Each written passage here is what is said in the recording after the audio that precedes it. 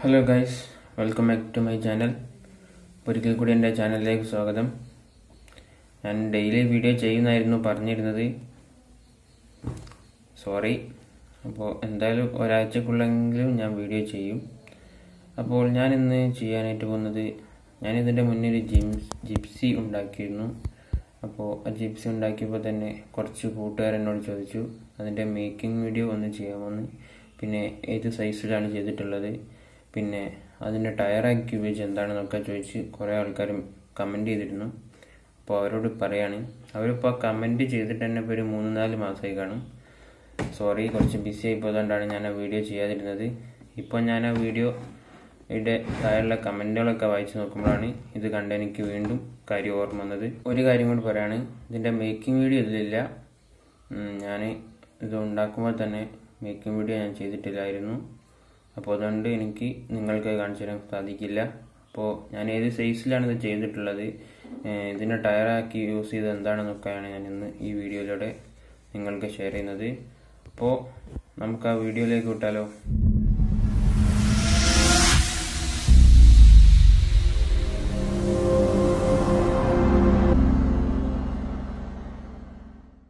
അപ്പോൾ ഫ്രണ്ട്സ് അപ്പം ഞാൻ ഈ വണ്ടി ഉണ്ടാക്കാനായിട്ട് ഉപയോഗിച്ച അളവുകളാണ് പറഞ്ഞിരുന്നത്. ഇതിന്റെ നീളം എന്ന് പറയുന്നത് ഇരുപത്തി ഒമ്പത് സെന്റിമീറ്ററും പിന്നെ ഇതിന്റെ ഇവിടം മുതൽ ഇവിടം വരെയുള്ള വീതി എന്ന് പറയുന്നത് പന്ത്രണ്ട് പോയിന്റ് അഞ്ച് സെന്റിമീറ്ററും പിന്നെ ഗ്രൗണ്ട് മുതൽ ഇതിന്റെ റൂഫ് ഭാഗം വരെ വരുന്നത് പതിനേഴ് സെന്റിമീറ്റർ ഹൈറ്റുമാണ് വരുന്നത്. അപ്പം ഞാൻ ഉണ്ടാക്കിയ സൈസാണ് കേട്ടോ അത്. പലരും പല സൈസിലേക്ക് ഉണ്ടാക്കുന്നത്. പിന്നെ ഇതിന്റെ ബാക്കിൽ ഈ കേരിയർ കമ്പി ഇതൊക്കെ ഞാൻ ഉണ്ടാക്കിയ ഫോം ഷീറ്റ് തന്നെയാണ്. Three m m foam sheet തന്നെയാണ് അത് ചെയ്തിരിക്കുന്നത്. പിന്നെ പലരും ചോദിച്ചിട്ടുണ്ട് ഇതിന്റെ ടയർ എങ്ങനെയാണ് ചെയ്തിട്ടുള്ളത്? ആക്ച്വലി ഞാനിത് ടയർ ഉണ്ടാക്കിയതല്ല ബാങ്കോടിൽ നിന്ന് പർച്ചേസ് ചെയ്തതാണ്. നാലും റബ്ബർ ടയറാണ് പിന്നെ ഞാൻ ആദ്യമായിട്ടുണ്ടാക്കിയ വണ്ടിയാണ് ഈ ജിപ്സി എന്ന് പറയുന്നത്. എന്റെ ഏറ്റവും ഫസ്റ്റിലത്തെ വീഡിയോ കണ്ടവർക്കറിയാം. അപ്പോൾ അന്ന് എനിക്ക് അറിയില്ലായിരുന്നു എങ്ങനെ ടയർ ഉണ്ടാക്കണമെന്നൊന്നും അതൊരു തുടക്കമായിരുന്നു. അതുകൊണ്ട് തന്നെ ഈ വണ്ടിക്ക് അത്രയും ഫിനിഷിംഗ് ഒന്നുമില്ല. അപ്പോൾ ഈ ടയർ ഉണ്ടാക്കുന്നതിനെ പറ്റി അറിയാത്തതുകൊണ്ടാണ് ഞാൻ ടയർ വാങ്ങിച്ചിട്ട് ഇത് ഫിറ്റ് ചെയ്ത്. പിന്നെ അത് ഫിറ്റ് ചെയ്ത് എങ്ങനെയാണെന്ന് വെച്ച് കഴിഞ്ഞാൽ എന്റെ കയ്യിൽ ഒരു പഴയ ആർ സി കാർ ഉണ്ടായിരുന്നു. ആ ആർ സി കാറിന്റെ ആക്സിലാണ് ഇത് രണ്ടും. അതിന്റെ മുകളിലേക്കാണ് ഇത് ഫിറ്റ് ചെയ്ത്. പിന്നെ ഇത് പിന്നെ ഈ ചെയ്സും ഞാൻ തന്നെ ഉണ്ടാക്കിയതാണ്.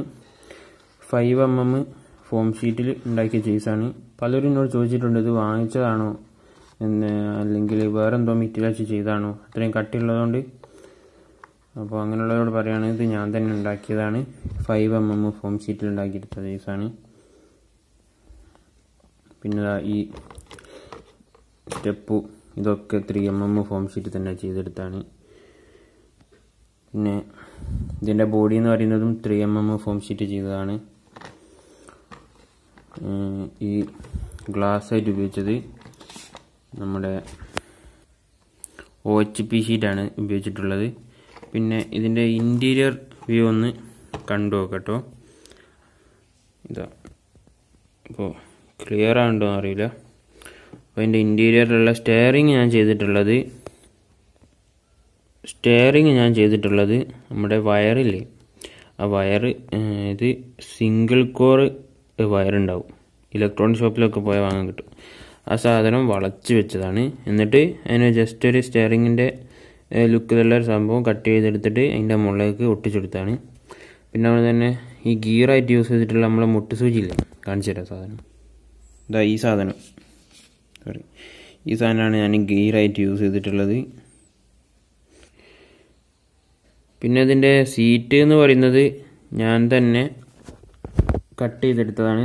സീറ്റിന്റെ ജസ്റ്റ് ഒരു ഫ്രെയിം ഉണ്ടാക്കിയിട്ട് അതിനകത്ത് പഞ്ഞി നിറച്ചിട്ട് തുണി കൊണ്ട് തുന്നിയിട്ടാണ് ഞാൻ ഈ സീറ്റ് ഉണ്ടാക്കിയിട്ടുള്ളത്.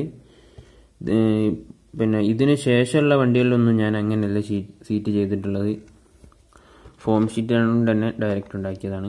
പിന്നെ ഡാഷ്ബോർഡൊക്കെ തന്നെ ചെയ്യുന്നത്. പിന്നെ സ്നോർക്കിൽ വലിയ ഫിനിഷിംഗ് ഒന്നുമില്ല. ഈ സ്നോർക്കിലും ഫോം ഷീറ്റ് കൊണ്ട് തന്നെ ചെയ്തെടുത്തതാണ്. എന്നിട്ട് അതിന്റെ മുകളിൽ പെയിന്റ് ചെയ്തതല്ല. അതിന് പകരം ഞാൻ cello tape sorry insulation tape use ചെയ്ത് ഒട്ടിച്ചതാണ്. പിന്നെ ഇപ്പോൾ പിന്നെ ഇതിന്റെ ഫ്രണ്ട് ഗ്രില്ല് എന്ന് പറയുന്നത് മൂന്ന് പാർട്ടായിട്ടാണ് ഞാൻ ഇത് ചെയ്തിട്ടുള്ളത്. മൂന്ന് പാർട്ട് എന്ന് പറയുന്നത് ഇതിലുള്ള ഫസ്റ്റ് പാർട്ടാണ് ഇത് ഇത് ഈ ഭാഗം ഈ ഹെഡ്ലൈറ്റ് സെക്കൻഡ് പാർട്ട് ഈ ഹെഡ് ഹെഡ്ലൈറ്റ് തേർഡ് പാർട്ട് ഈ ഗ്രില്ലിൽ വരുന്ന ഭാഗവും. അപ്പോൾ ഞാൻ ഇത് ഉണ്ടാക്കാനായിട്ട് ഉപയോഗിച്ച സൈസ് എന്ന് പറയുന്നത് രണ്ടര സെന്റിമീറ്റർ ഒന്ന് പോയിന്റ് അഞ്ച് സെന്റിമീറ്ററിലാണ് ഇവിടെ നിന്ന് ഇവിടം വരെയുള്ള ഹെഡ്ലൈറ്റിന്റെ എടുത്തിട്ടുള്ളത്. പിന്നെ ഗ്രില്ലിന്റെയൊക്കെ വരുമ്പോൾ ഇവിടെ നിന്ന് ഇവിടം വരെ ആയിട്ട് എട്ട് സെന്റിമീറ്ററും പിന്നെ ഈ മാരുതിയുടെ എം അങ്ങനെ തന്നെ ഫോം ഷീറ്റ് തന്നെ വരച്ചിട്ട് കട്ട് ചെയ്തെടുത്തതാണ്. വലിയ ഫിനിഷിംഗ് ഒന്നുമില്ല. രണ്ട് മൂന്ന് പ്രാവശ്യം ചെയ്തപ്പോഴാണ് ശരിയായത്.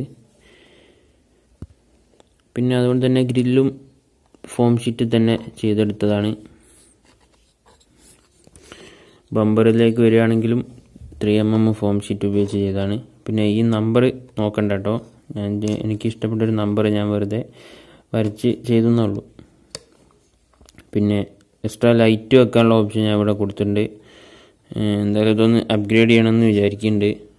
പിന്നെ ആർ സി ആക്കണമെന്നുണ്ട്. പിന്നെ ഇതൊക്കെ എക്സ്ട്രാ സ്റ്റിക്കർ വർക്കുകളാണ് ഇത്ര വലിയ സ്റ്റിക്കർ ഒന്നുമല്ല. പിന്നെ കുറേ ഉപയോഗിക്കാണ്ട് ഇട്ടതുകൊണ്ട് ഫംഗസ് വന്നിട്ട് ഉള്ളിൽ കൂടിയ ഫംഗസ് വന്ന് ഇപ്പം ഇങ്ങനെ ക്ലീൻ ചെയ്യുന്നൊരു പിടിയും കിട്ടില്ല. അത് മൊത്തം മുറിക്കേണ്ടി വരും. വലിയ ഡീറ്റെയിൽ ആയിട്ടും ചെയ്തില്ല. ബാക്കിലൊന്നും ഒന്നും ചെയ്തിട്ടില്ല. ഒക്കെ ചെയ്യണമെന്ന് വിചാരിക്കുന്നുണ്ട്.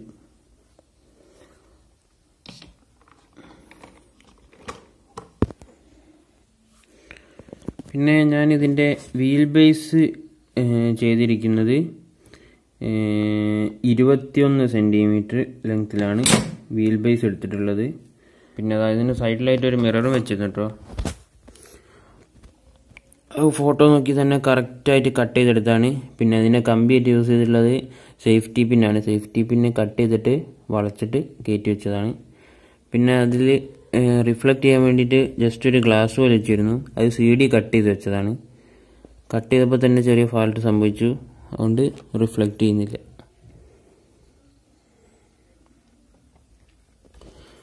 പിന്നെ അതുപോലെ തന്നെ ഒരു കാര്യം കൂടി പറയാൻ വിട്ടുപോയി.